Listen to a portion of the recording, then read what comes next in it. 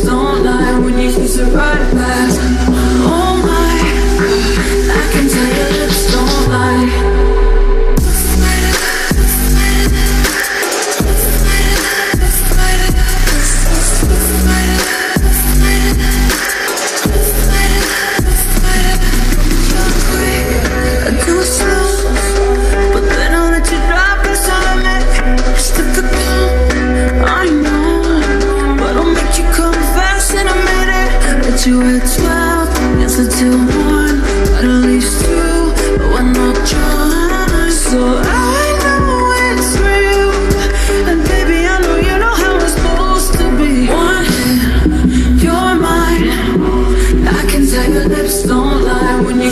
don't